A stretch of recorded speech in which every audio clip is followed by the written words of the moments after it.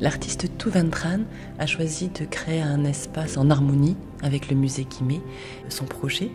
a développé un espace imaginaire qui est celui de la forêt,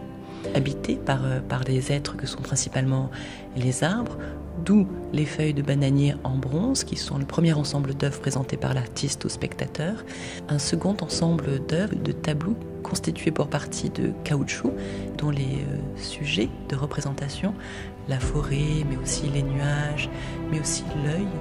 euh, invitent les esprits à dialoguer avec euh, les esprits qui sont ceux des divinités nombreuses dans la statuaire du musée Guimet. Son travail parle